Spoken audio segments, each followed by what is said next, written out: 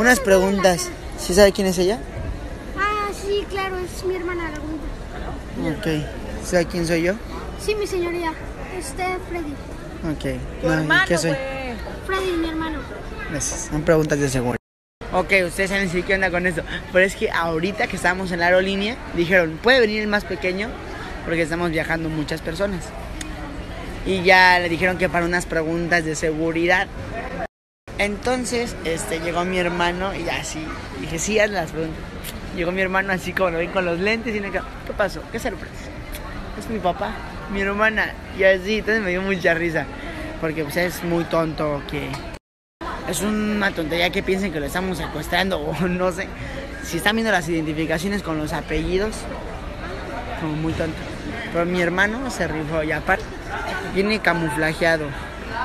Claro, nada más. Los poderes negros. Ya nos vamos, chico.